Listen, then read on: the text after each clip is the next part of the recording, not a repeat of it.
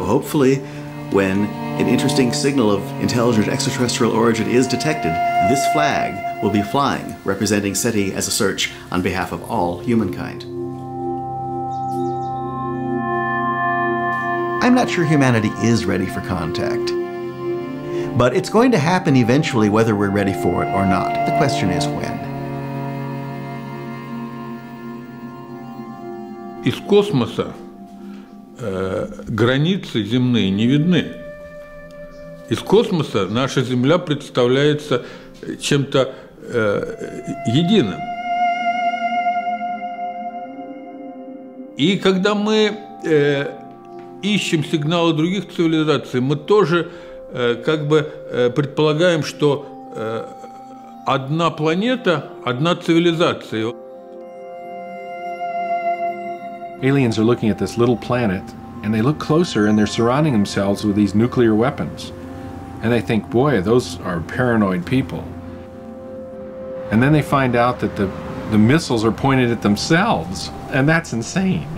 So it's like surrounding themselves with these weapons. It's like, what is wrong with those people?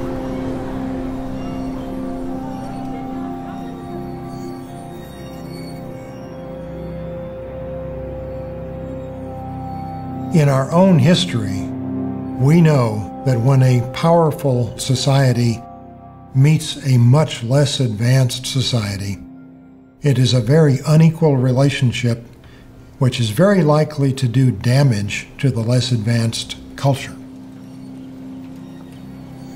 Remember, we may be talking about a culture that is not just a century ahead of us technologically, but perhaps a millennium ahead of us.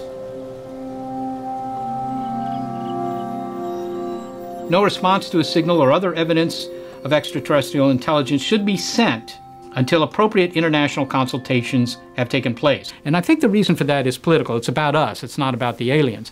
It's about making sure that, for example, if the Americans were to find this signal, you know, then do they get to determine what we send back?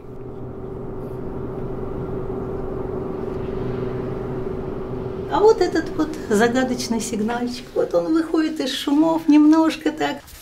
Зачем вот искать?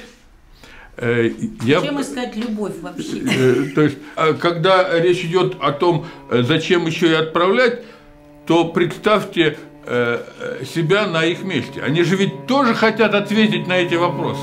И мы помогаем им ответить на этот извечный вопрос, одни ли они во Вселенной.